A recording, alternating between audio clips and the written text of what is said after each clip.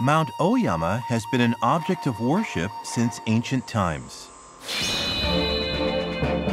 During the Edo period, Oyama prospered as a pilgrimage site as well as a tourist resort. Osamedachi is a unique way to worship. Common people in Edo dedicated a huge wooden sword to the shrines and temples. Oyama pilgrims cleanse themselves under the waterfall before starting the spiritual hike to the mountaintop.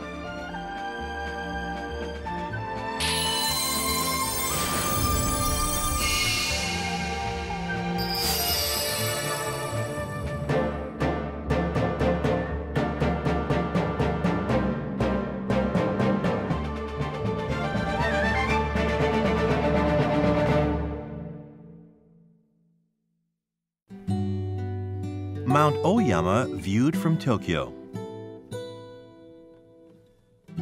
Oyama Road leads to Mount Oyama. The guideposts at the time remain preserved along the old roads.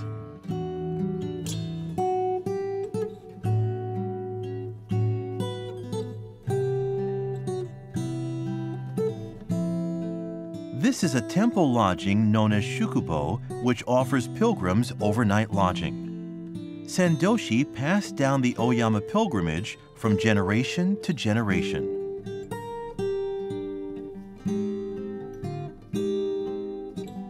The waterfall that purified the pilgrims remains preserved along the trail.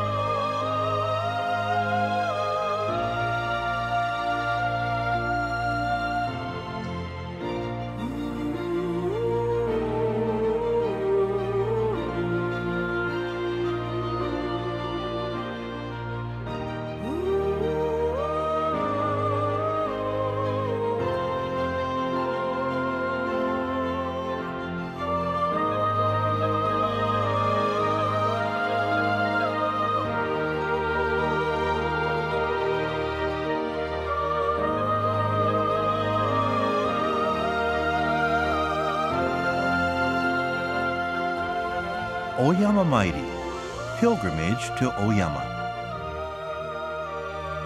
Energy from the Edo period still remains here in Oyama.